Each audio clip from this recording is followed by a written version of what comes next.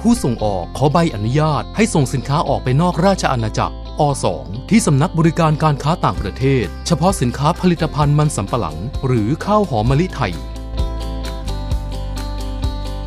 ยื่นคำร้องขอให้ออกใบรับรองมาตรฐานสินค้า มศ 13 ที่สำนักงานมาตรฐานสินค้า หรือสภาหอการค้าแห่งประเทศไทย พร้อมเลือกผู้ประกอบธุรกิจ ตรวจสอบมาตรฐานสินค้า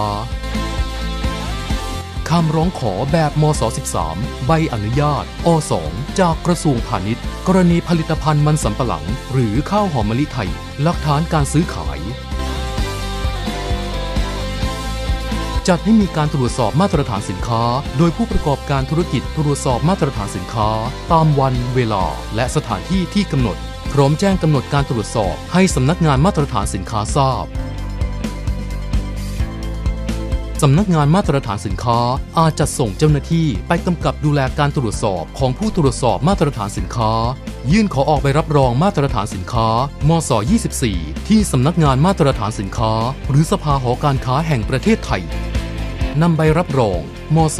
24 แสดงต่อกรมศุลกากร ณ ด่านศุลกากร ตามที่กระทรวงพาณิชย์ประกาศกำหนดเป็นรายสินค้า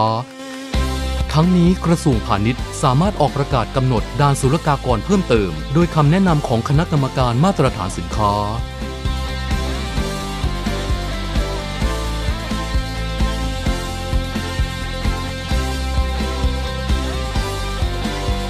รายงานผลการส่งออกให้สำนักงานมาตรฐานสินค้าภายใน 15 วัน นับตั้งแต่วันส่งออก มศ 25